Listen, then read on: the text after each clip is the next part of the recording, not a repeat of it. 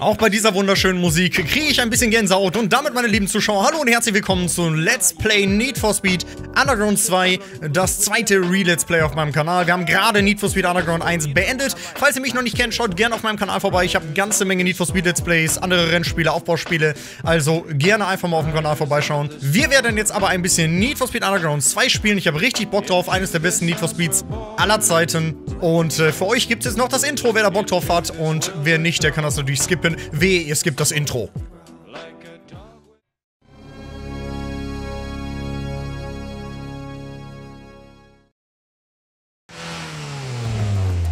Hi, ich bin Brooke Burke. Ich spiele Rachel Teller in Need for Speed Underground 2. Im Spiel eine Rennfahrerin darzustellen hat mir viel Spaß gemacht. Aber auf der Straße fahre ich immer vorsichtig und verantwortungsbewusst. Rennen solltet ihr wirklich nur in Underground 2 fahren. Und denkt immer daran, euch anzuschnallen und euch an die Straßenverkehrsordnung zu halten.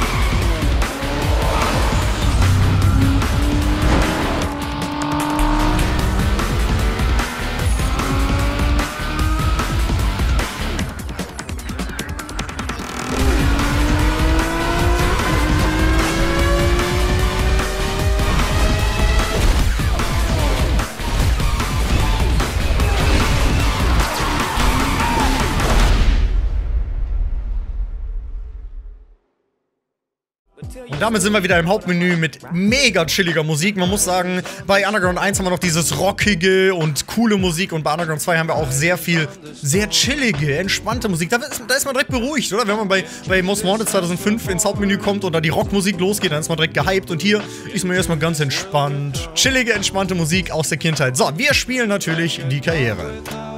Viel Spaß dabei. Freut mich, dass ihr dabei seid.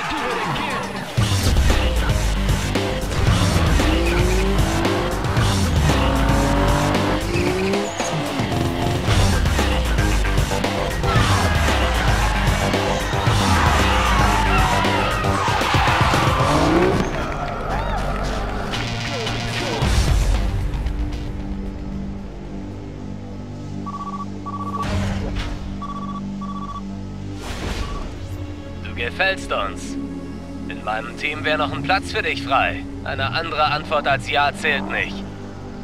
Na, wie sieht's aus?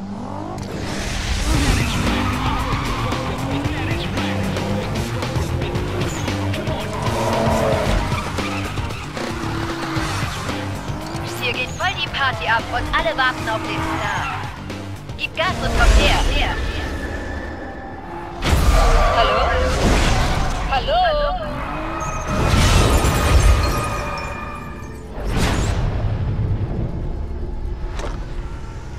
alles okay. Ich musste mich nur gerade um ein kleines Problem kümmern.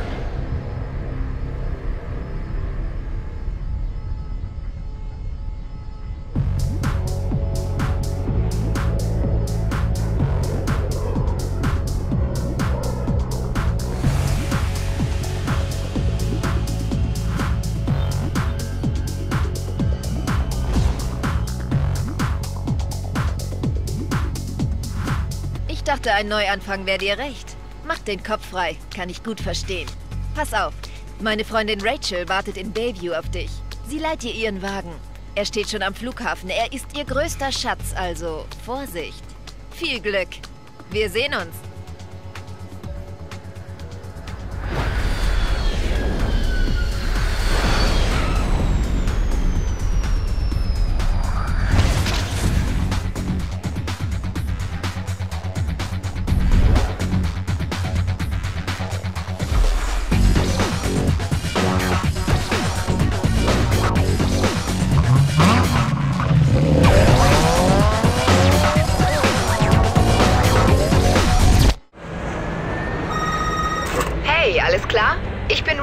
Samanthas Freundin.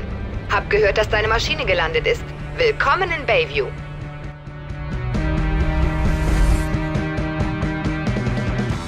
Hey, falls du es nicht schon erraten hast, das, was du hier hörst, ist das Kurzmitteilungssystem, auch bekannt als SMS. Ich weiß nicht, ob du dich damit auskennst, deshalb habe ich schon mal alles eingestellt. Lies dir am besten die Anleitung durch. Ja gut, erinnert sich noch irgendwer von euch daran, wann er die letzte SMS geschrieben hat? Ich muss ganz ehrlich sagen, ich habe glaube ich seit zwei Jahren oder so keine SMS mehr geschrieben. Früher noch meiner Mama, weil die kein WhatsApp hatte. Jetzt hat inzwischen sogar meine Mama WhatsApp. Also oh, SMS sind komplett out. Hier im Spiel, das von 2004 ist, kriegen wir noch erklärt, was SMS sind, weil das vielleicht nicht jeder kennt. Und heute kennt es die Jugend auch schon nicht mehr, weil es einfach keiner mehr benutzt. Also so schnelllebig ist die heutige Zeit.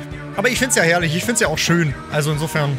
Wirf einen Blick auf die Minikarte. Sie ist einfach zu benutzen und du solltest dich daran gewöhnen. Die Stadt ist groß, weißt du? Ich brauche meinen Ja, Wagen die Stadt bald ist wieder, groß. also komm bitte zum Autohändler, der auf der Minikarte markiert ist. Und damit herzlich willkommen in Bayview, aber die werden uns jetzt weiterhin vollquatschen. Wir fahren erst einmal äh, mit Rachels Nissan 350Z und sammeln hier unterwegs diese wunderschönen Dinge alle ein.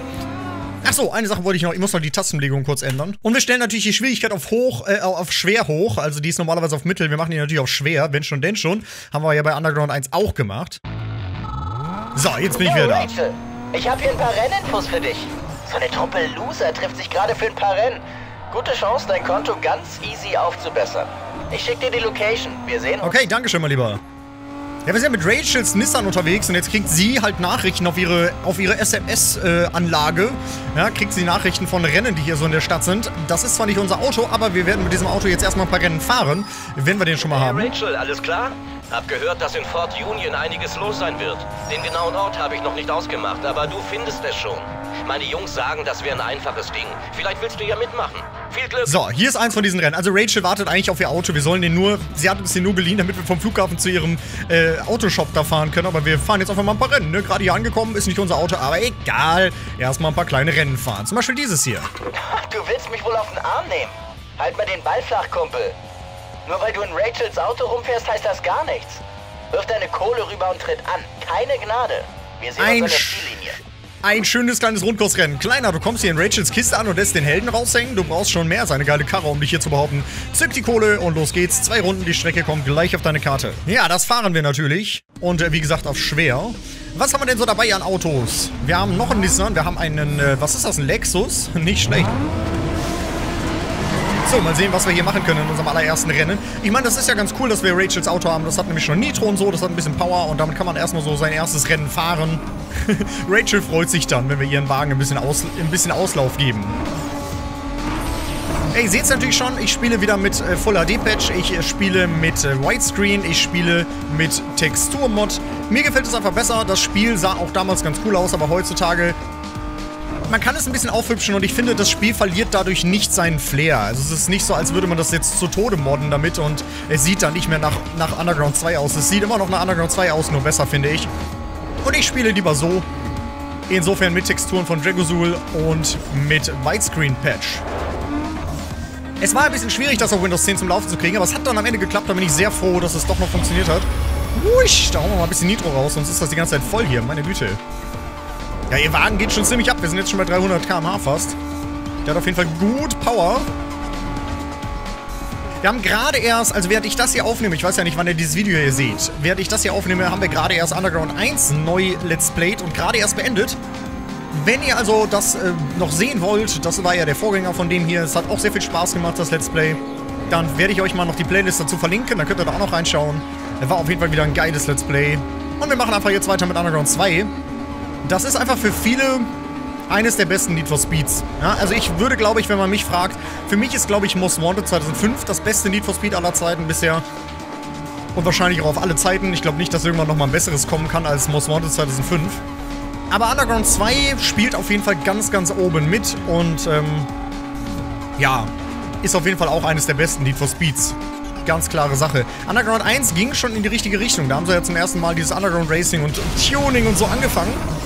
Und dann haben sie bei Underground 2 dieses ganze, diese ganze Idee und das ganze Konzept aufgegriffen und nochmal besser gemacht. Mit einer größeren Karte, mit mehr Autos, mit mehr Tuning. Ja, geiles Spiel. Trotzdem ist für mich Underground 1 noch mehr Kindheitsspiel, weil ich hatte damals Underground 1 und habe das bestimmt 20 Mal durchgespielt in meinem Leben. Und Underground 2 vielleicht zweimal, dreimal bisher. Insofern ähm, habe ich da nicht so viel Verbindung zu. Das heißt, wenn ich mal Sachen nicht checke oder so, ne, das kann ja alles sein, dann schreibt bitte nicht, oh mein Gott, bist du blöd, ich hasse dich, ich deabonniere dich und was nicht alles, sondern dann schreibt einfach einen netten Kommentar, hey Walle, du hast da das und das übersehen oder hey Walle, ähm, du könntest das und das so machen. Also falls ich irgendwas nicht checke oder übersehe, was uns im Spiel helfen könnte, könnt ihr mir das gerne freundlich in die Kommentare schreiben.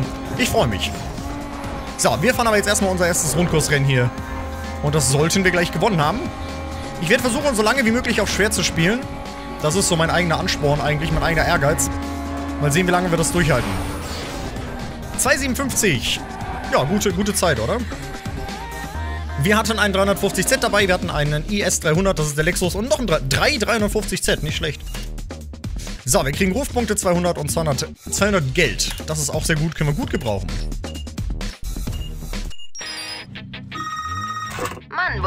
Du?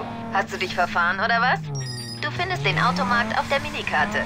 Beeil dich und komm her. Ich habe nicht die ganze Nacht Zeit. Aber dein Wagen fährt sich so gut und wir wollen mit dem noch ein bisschen durch die Gegend heizen. Es tut mir ja auch leid. Ähm, wir fahren jetzt, warte mal, wenn ich mich richtig erinnere, es gibt, also es gibt diese zwei Rennen auf der Karte, den Sprint und den Rundkurs, die kann man schon fahren, dann haben wir ein bisschen mehr Startgeld, wenn man sich da Rachels Auto verleiht. Finde ich eigentlich eine ganz coole Sache. Aber ich meine, es gäbe noch ein drittes Rennen, was nicht auf der Karte angezeigt wird. Jetzt muss ich mal kurz überlegen, wo das war. Ich glaube, wartet mal, irgendwo in einer von diesen Straßen war das, glaube ich. Es gibt nämlich noch ein Rennen, das ist aber nicht auf der Karte. Wir suchen mal. Vielleicht finden wir das, dann machen wir das nämlich auch noch. Dann fahren wir drei Rennen mit Rachels Auto. Die wird uns den Kopf abreißen, ich sag's euch. War das hier? Da ist es doch. Da ist doch was. Tatsache, hier ist es nicht auf der Karte markiert.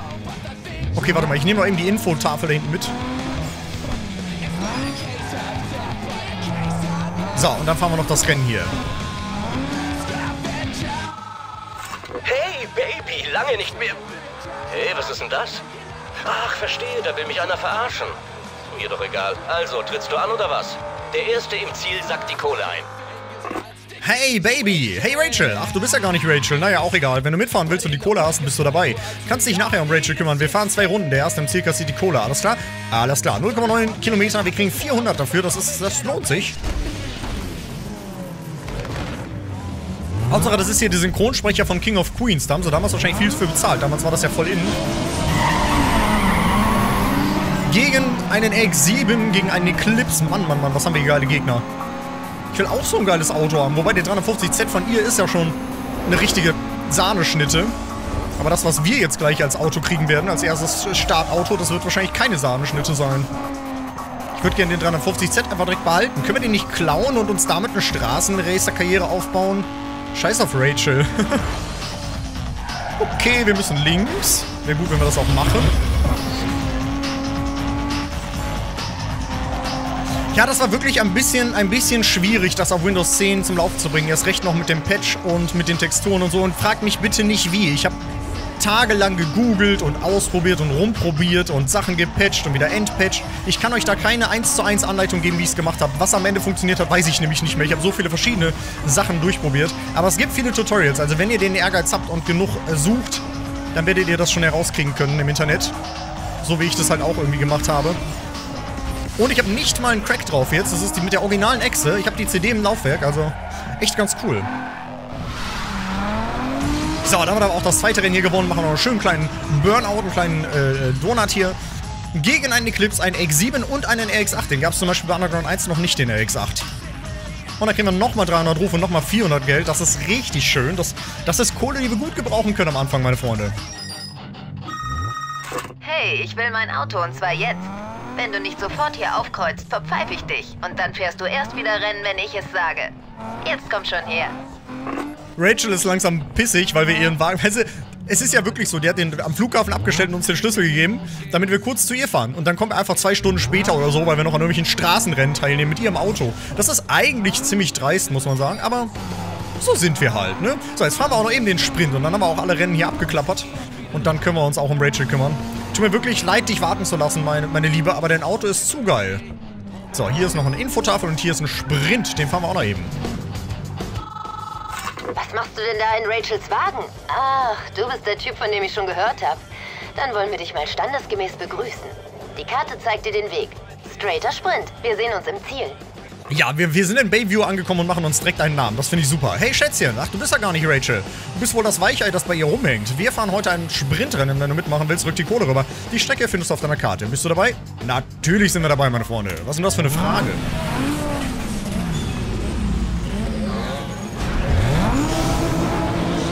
Er hat hier schon, er hat hier schon rotierende Felgen links von uns, der Hyundai Coupé. Und Supra dabei. Ei, geile Autos, Mann. Geile Autos. Aber dieser Hyundai Coupé mit den rotierenden Felgen, das ist dann nochmal ein anderes Thema. Also ich meine, Underground 1 war schon, war schon Ricer-Tuning-Style, aber bei Underground 2 haben sie es dann wirklich auf die Spitze getrieben. Mit, dem, mit den Neon-Funktionen und mit diesen Scherentüren und Subwoofer und äh, rotierende Felgen. Da haben sie wirklich dann komplett sind sie komplett eskaliert. Also racigeres Tuning als in Underground 2 kann man nicht mehr finden. Aber das ist vollkommen in Ordnung, ja. 2004 war eben die Hochzeit dieses Tunings und gerne, gerne. Werden wir auch so machen. Ob ich jetzt rotierende Felgen nehme, das weiß ich noch nicht. Das ist dann ein bisschen sehr viel des Guten. Wir werden aber auf jeden Fall dicke Spoiler draufhauen, dicke Felgen draufhauen, Neon draufhauen. Man kann ja trotzdem mit diesem übertriebenen Tuning ein schönes Tuning hinkriegen. Man muss ja nicht ähm, pink mit orange machen oder so. Man kann es ja trotzdem stylisch machen, so wie wir es bei Underground 1 auch gemacht haben. Dass es eben Ricer-mäßig ist, aber immer noch geil aussieht. So, wir wollen links rum. Links, links, links, habe ich gesagt. Und jetzt rechts abbiegen, danke. Mann, ihr Nissan ist aber auch geil, oder? So ein schönes Auto. Ich würde den wirklich am liebsten einfach direkt übernehmen. Wir brauchen gar kein eigenes Auto. Auch das Grün und diese Carbon-Motorhaube und so, der sieht insgesamt einfach cool aus. Das Gesamtkonzept gefällt mir. So, also ich meine, wir, wir fahren zwar schwer, aber bisher sieht das ja alles wunderbar aus hier. Die ersten beiden Rennen haben wir ja schon gut gewonnen und das hier gewinnen wir jetzt auch gerade. Da bin ich ja sehr zufrieden. Ein guter Start ins Spiel. So, gegen Supra, gegen GTO und gegen Coupé. Da kriegen wir nochmal 200 und nochmal 200 Ruf und damit sind wir jetzt schon richtig reich fast. Weißt du, Hotshot, alle wissen jetzt, was Sache ist. Du fährst keine Rennen mehr und je später du hier vorfährst, desto übler wird das Ganze. Das war mein letzter Anruf. Mama ist pissig. Ich sag euch, die, ich sag euch, die wird uns den Kopf abreißen, wenn wir dann endlich da sind. Na gut, wir fahren also jetzt endlich mal hin. Das können wir ihr nicht antun, jetzt noch länger zu warten. Rennen haben wir sowieso keine mehr auf der Karte. Aber das war doch sehr cool, das Auto mal eben zu leihen, um ein bisschen Kohle zu machen. Damit haben wir nämlich jetzt 950 auf dem Konto und damit kann man doch auf jeden Fall was anfangen.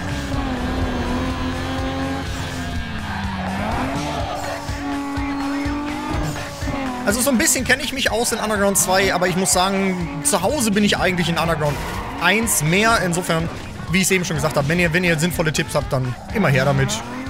Nö, falls ich irgendwas... Man, es ist ja auch schon wieder lange her, dass ich es das letzte Mal gespielt habe. Also man kann auch Sachen mal wieder vergessen. Und ähm, wenn, wenn euch da noch was in Erinnerung ist, weil ihr es vielleicht zuletzt gespielt habt oder so, oder vielleicht war das, das euer Kindheitsspiel hier, dann immer gerne her mit Tipps und Infos die ich übersehe. Ansonsten versuche ich einfach selber mein Bestes. So, ich glaube, hier lag noch ein Geldpaket. Genau, ja, wunderbar. Daran erinnere ich zumindest noch, mich noch. Damit sind wir jetzt bei 1025. Wir sind also wirklich schon halber Millionär, wenn wir hier ankommen. So. Meine liebe Rachel, bitte verzeih es mir. Ich wollte dein Auto nicht kaputt. Haben wir es kaputt gemacht? Nö, ne? Wir sind eigentlich relativ fehlerfrei gefahren. Wir sind direkt auf schnellstem Wege vom Flughafen hingekommen. Wir haben keine Rennen gemacht. Nein, haben wir nicht.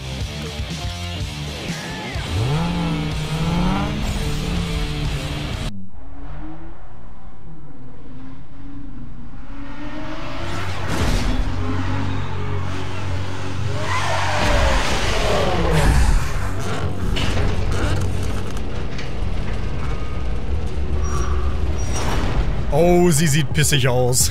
Na endlich. Wo bist du mit meinem Wagen gewesen, ha? Wenn da auch nur ein Kratzer dran ist. Sam sagt, du kannst fahren. Mag ja sein, aber nicht mit meinem Wagen.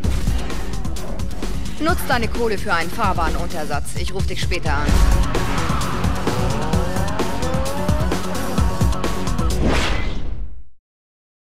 Hey, es gibt gute Neuigkeiten. Das Geld vom Unfall ist da. Samantha hat's mir überwiesen. Kannst dir einen neuen Wagen dafür aussuchen. Wir sehen uns nachher. Ohne Scheiß, Leute, dieses Lied, Riders on the, of the Storm oder Riders on the Storm oder wie es heißt, von Snoop Dogg, ich habe das heute noch auf dem Handy. Ich höre das heute noch beim Sport, ne? Das ist einfach heute noch ein geiles Lied. Das kann ich mir genauso geben wie damals. Also die, die Need for Speed Musik, Hammer. So, wir, haben, wir dürfen uns ein Auto auswählen. Peugeot 206. Kann man machen, ist nicht so mein Stil. Ja? Mag ich persönlich nicht so gerne. Ford Focus, schon eher mein Stil. Schönes Auto. Kann man auf jeden Fall was daraus machen. Dann einen Toyota Corolla. Ein Corolla. Ist nicht so meins. Diese schönen Glubschaugen vorne. Nicht so mein Stil. Dann haben wir einen Nissan 240 SX. Der ist natürlich ohne Frage von den Startautos, die wir auswählen können, das Filetstück. Ja? Das ist schon das schönste Auto, finde ich. Allerdings natürlich auch ein bisschen Mainstream vielleicht damit zu gehen, ne? Was haben wir noch? Peugeot 106. Ah, wir haben den, wir haben den, okay, wir haben auch noch den älteren. Und weil wir natürlich die, die europäische, deutsche Variante haben, haben wir auch noch den Opel Corsa dabei. Oben steht zwar Opel Corsa, im Spiel haben wir dann Vauxhall, aber den konnte man, glaube ich, ich glaube in der US-Variante kann man den gar nicht fahren. Es gibt nämlich Leute, da habe ich durch meine Recherchen nach, wie es funktioniert, habe ich das herausgefunden. Es gibt Leute, die sich einen amerikanischen Crack zum Beispiel holen und da ist das Auto dann gar nicht drin. Das ist nur in der europäischen Variante, glaube ich, drin gewesen damals. Ich bin ja fast geneigt, und das habe ich in meinem ersten Let's Play zu dem Spiel auch gemacht, den Opel Corsa zu nehmen. Das ist nämlich das einzige Auto in diesem Spiel, was ich selber schon mal besessen und gefahren bin. Besessen habe und gefahren bin. Allerdings wäre natürlich die, die obvious schönste Auswahl der Nissan. Es war halt mal mein Auto. Das einzige Auto, was ich bisher besessen habe, war ein Opel Corsa C, den ich von meinem Opa bekommen habe. Also der ist den vorher gefahren. Und es ist kein schönes Auto, es tut mir leid. Ich, ich bin jetzt auch schon gefahren, aber ich bin froh, dass ich ihn nicht mehr habe. Ganz ehrlich, der war grausam. Der hatte ständig Probleme. Der hatte so eine Easy-Tronic-Schaltung drin, die ständig Fehler hatte.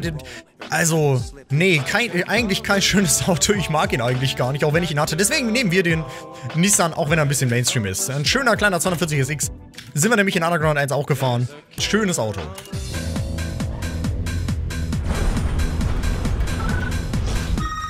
Schwing dich in deinen Wagen und komm zu meiner Garage. Die Straßen sind eh leer gefegt und kein Rennen in Sicht. Wage es nicht, mich wieder warten zu lassen. Bis nachher. Nein, Rachel, nochmal werde ich mir das nicht erlauben, dich warten zu lassen. Das tut mir auch sehr leid, dass ich dich habe warten lassen.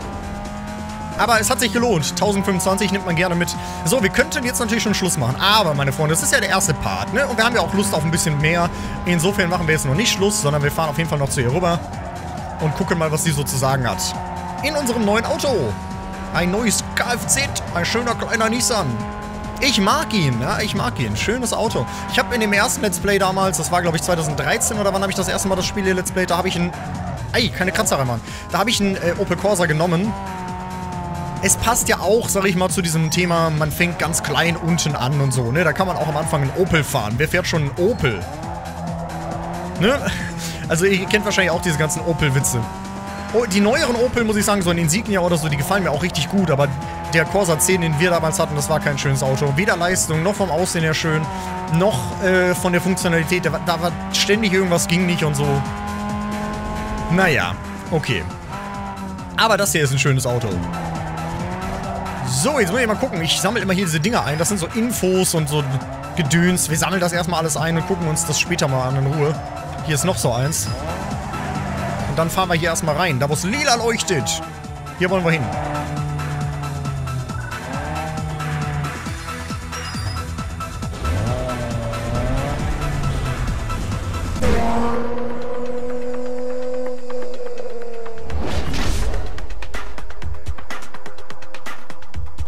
Hör gut zu.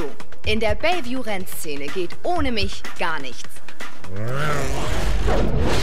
Und falls du es noch nicht gemerkt hast, die Rennszene hier ist total angesagt. Du findest alles, was dein Herz begehrt, wenn du weißt, wo du suchen musst. Drags, Drifts, Rundstreckenrennen und mehr. Du glaubst nicht, was wir schon alles erlebt haben. Natürlich ist auch jede Menge Geld im Spiel. Und für Elitefahrer gibt es die Underground Racing League. Das sind Rennen, zu denen man extra eingeladen wird. Mit Kohle und Respekt en masse. Alles, was du brauchst, sind Connections und eine gute Empfehlung. Der Laden gehört mir und du bist nur ein Gast. Ich hab das Sagen, also hör zu. Da hinten ist Tommy. Er zaubert dir die tollsten Sachen unter die Haube. Wart's nur ab. Ich muss jetzt los und melde mich bei dir. Hey, Rachel hat alles geregelt und du bist fit für die Straße. Einen Garagenplatz hat sie dir auch reserviert. Ich zeig dir wo.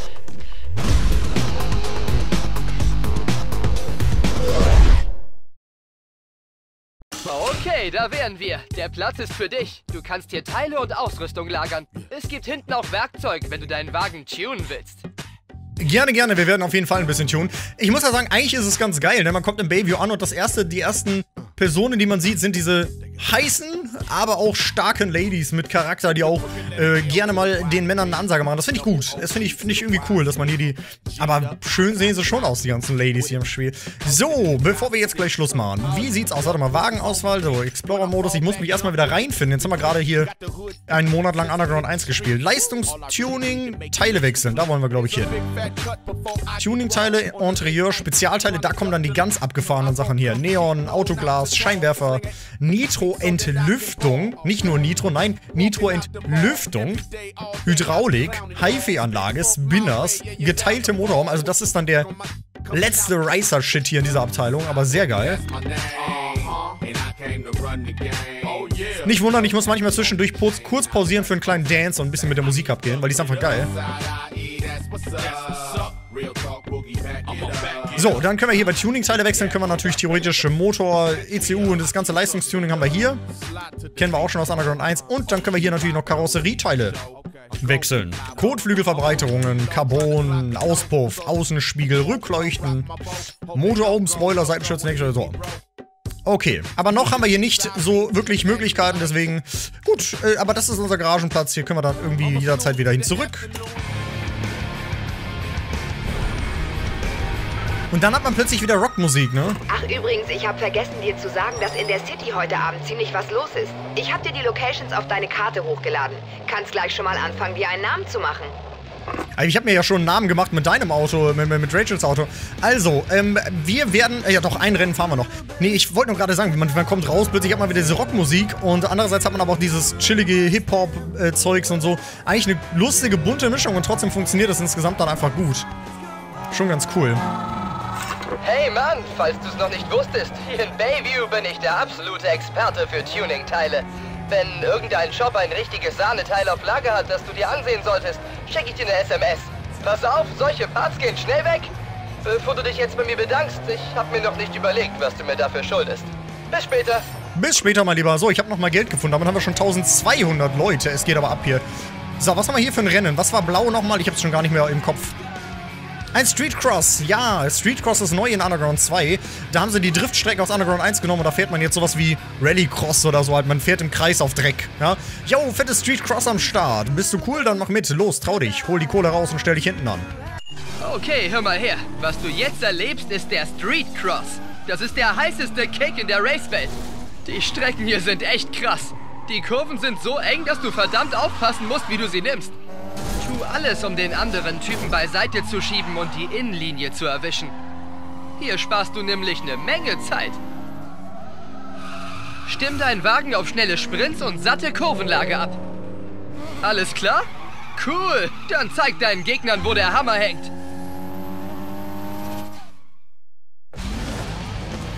Okay, ich glaube, da muss ich mal eine Lanze brechen für Need for Speed 2015, weil ganz ehrlich, in Need for Speed 2015, diese Cutscenes und die Handygespräche sind genauso wie die in Underground 2 hier. Die sind genauso peinlich.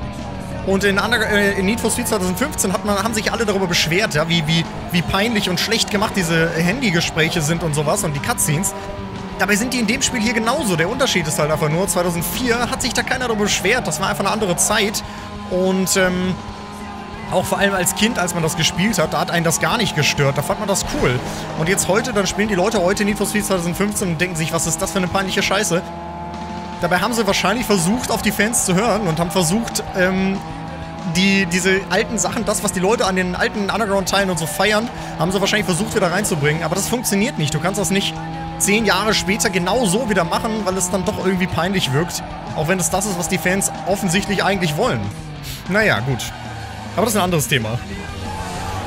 Weil ich meine nur, wenn man mal bei 2015, ja, diese Gespräche mit Travis und so am Handy, die sind genauso peinlich wie hier in dem Spiel, Mann. Es ist eins zu eins dasselbe. So, 200, 250. Haben wir gewonnen, kein Problem. Hey Mann, gutes Rennen. Aber weißt du, gewinnen ist echt nicht alles. Den Gegner in Grund und Boden zu fahren ist angesagt. Je mehr Vorsprung du auf deinen Gegner hast, desto besser wird dein Ruf. Also gib dein Bestes. Ja, wir haben ja eine ganze Menge Vorsprung wieder gehabt. Also wir müssen mehr Vorsprung haben, dann gibt es mehr Rufpunkte. Das ist im Endeffekt die Devise. Wir haben jetzt auf der Karte hier einige Rennen. Drei Stück, vier Stück sogar. Und das heißt, beim nächsten Mal haben wir einiges vor. Wir haben ein eigenes erstes Auto. Wir sind angekommen in Bayview. Das freut mich sehr. Und ich hoffe, ihr habt Bock darauf. Wie gesagt, wenn ihr mich noch nicht kennt, checkt auf jeden Fall mal meinen Kanal ab. Es gab eine ganze Menge verschiedene geile äh, Need for Speed Let's Plays schon bei mir und auch eine ganze Menge andere Spiele, Rennspiele und was nicht alles. So, hier haben wir noch ein bisschen Geld. Jetzt haben wir schon 1500. Meine Güte. Wir sind einfach nur reich. Hauptsache, was mir jetzt gerade noch in den Kopf kam, eben bei dem Street Cross Intro-Video, ne? Da rammen die sich ja sonst wie links und rechts gegen. Und er sagt ja auch, äh, das Wichtigste ist, ramm die Gegner weg. Wenn man sich das jetzt mal in real vorstellt, die bauen sich ja einfach, wenn man so ein Auto hat, das ist ja so ein Lebensprojekt, ja? Du steckst da dein Geld rein, du tunst da tunst da rum, du schraubst an dem Auto rum und das ist so dein Baby, so wie Rachels Nissan eben ihr Baby ist. Und dann gehst du damit auf eine Crossstrecke und fährst gegen die Wände und rammst die anderen weg und danach ist dein Auto einfach nur schrottreif. Wenn man sich mal in real vorstellt, ist das Ganze ziemlich lustig. So, wir sind erstmal fertig mit dem ersten Part Need for Speed Underground 2. Ich hoffe, es hat euch gefallen. Wenn ja, lasst bitte gerne mal ein Däumchen da.